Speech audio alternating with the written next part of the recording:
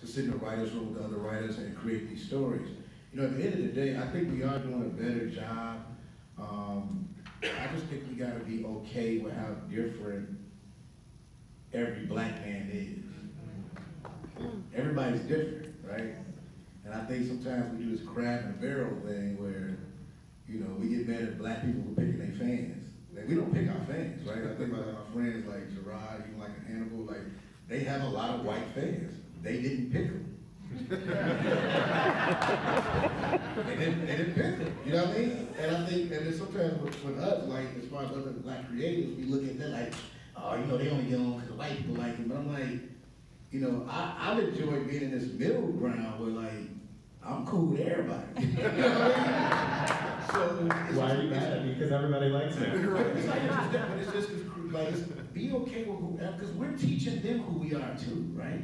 That's what we're supposed to use this format for, to teach other people our experiences. They don't know what we experience. White people don't get it unless we show them. Like, you think about a movie like Get Out, and sometimes I get it, like, my character made them comfortable, which sometimes annoys me.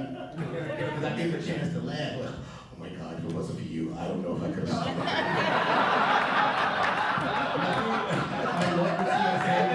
They actually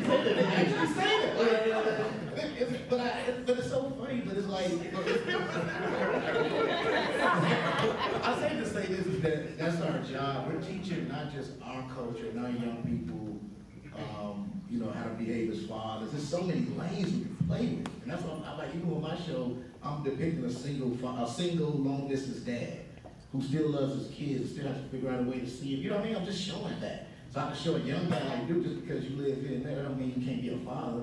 You can at least FaceTime now. You know what I mean? Like you can at least see your kids. I mean, literally see your kids.